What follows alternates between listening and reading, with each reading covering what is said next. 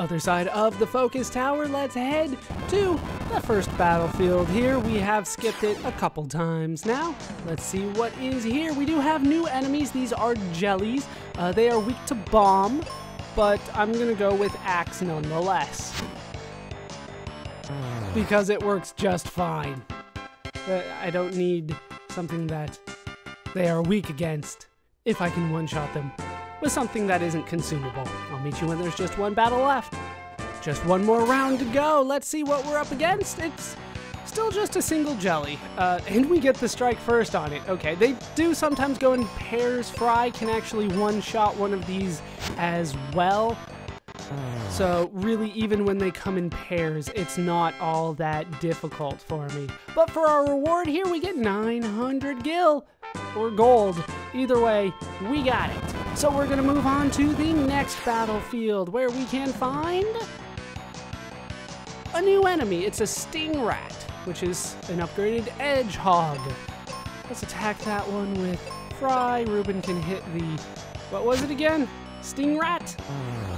It sounds like a translation of hedgehog from a different language, like German or something. Maybe that's just me. Nine more to go. I will see you when there's just one more to go. Just one more round to go, and we are up against a sting rat all by itself, and we got first strike. I think I should be able to handle this. Indeed, I can. Down it goes. Fry can one-shot those things as well with the battle axe. And we've won the Gemini crest for our efforts. That's probably going to be important, but for the time being, we're just gonna move on to the next battlefield where we should get a new enemy. We have upgraded trees. We're up against Plant Man. As you might expect, it's weak against axe, so that plays right into my hands, doesn't it? Nine more battles of these to go, none of which I'm too concerned about. Last battle of the battlefield, and we're up against a single plant man. They do come in pairs, but it's still not concerning because they are weak against axe attack, so what are you gonna do? Other than absolutely destroy them. Having Reuben along for this makes this exceedingly easy. And our reward this time is 816 experience. Probably still level 18 though. Uh, with our new Gemini crest, we can head back into the house. I believe it was this one. No, this was not the one. But we can get more refreshers while we're here. not that I'm using those all that much. Uh, I, oh, I'm thinking of the northwestern house in the other town, aren't I? Uh, this one then. Here we go. With our Gemini crest, we can warp somewhere else. Where else did we see this before? Hey, look, it's the lady that sold us something before. We can warp all the way back to Aquaria. Why you would want to do that, I'm not entirely sure, but uh, that is an option to you. I guess it's a little bit of a shortcut, but I don't see a reason to come back here now. So I'll just go with the speed up music. Yeah, yeah, you're the one that sold me the battle axe. The other person's the one that sold me the steel helm, was it? It's been a while. She sold me armor, though. I remember that. I feel like I'm missing that. Hold on. Is it down here? It is. So I missed this the first time. Got it this time. They're just heal potions. Not that big of a deal, to be honest. All right, we will head up here and we will exit out. Give me my good axe. And we will continue on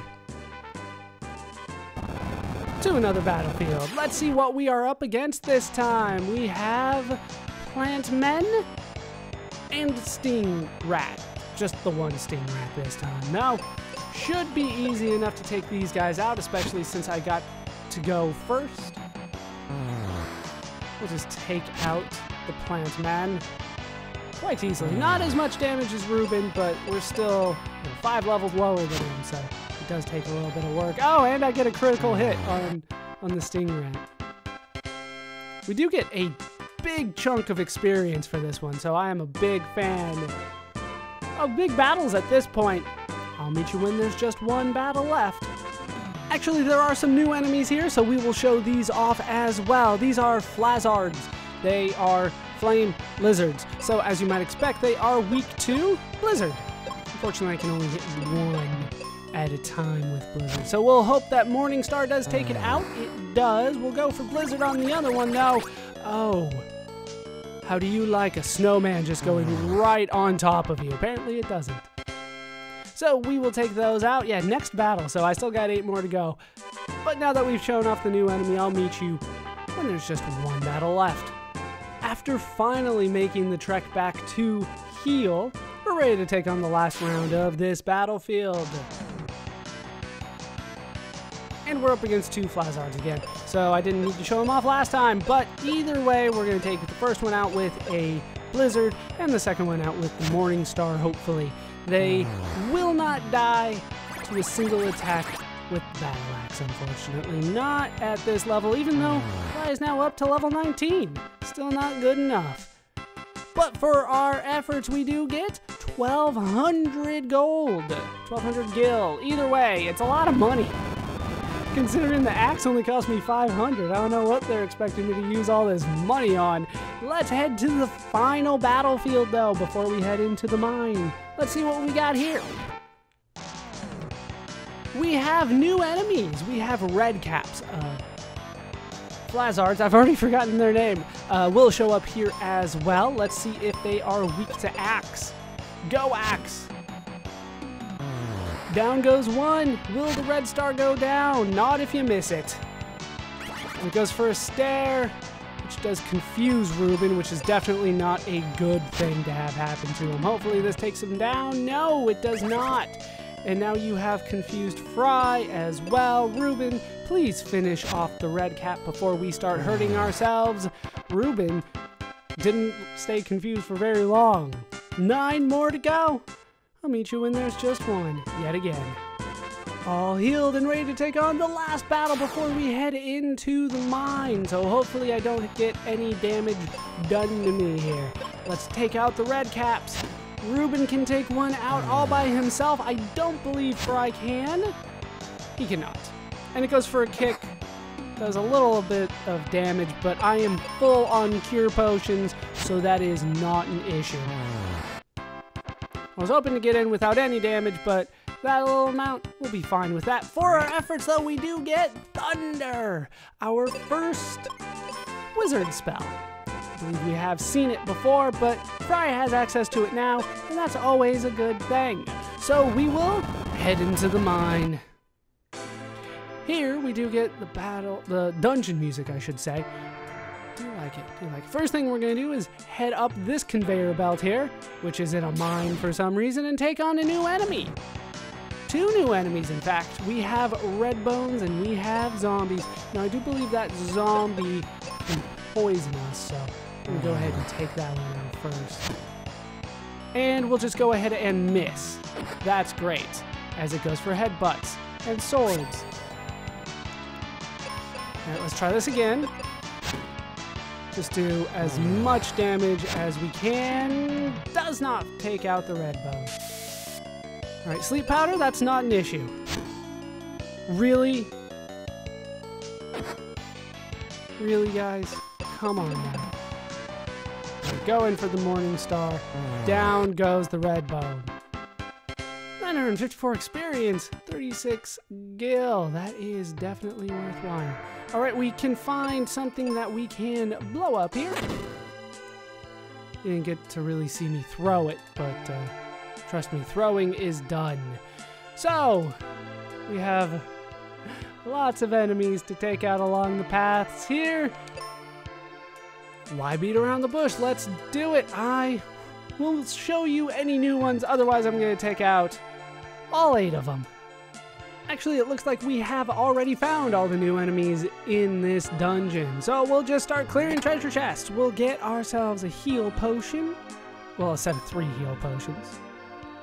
And head all the way to the other side where we can find a set of three cure potions. I have been using those, so More is always appreciated. And then we can just head back out of here. Switch over to a more effective weapon. Pretty much anything else would have been effective. And we can head all the way to the right here. Ride this down, even though it's kind of a one-way trip, and take out these two enemies. And we can find another obviously bombable door here, which we can then head in and find more enemies. I'll take on at least these three.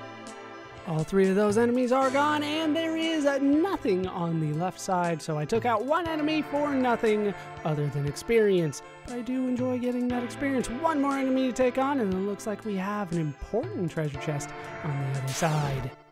And in this important treasure chest, we can get a Charm Claw. Charm Claw is an upgrade claw weapon, as I'm sure you might imagine.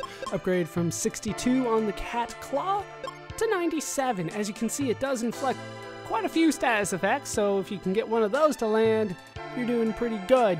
However, as you can see, the attack power is pretty low, especially compared to the Battle Axe, which is at 122 right now Of course, the Mega Grenade's at 162, but it does have its uses. For the most part, I'm going to be sticking with that Battle Axe, though.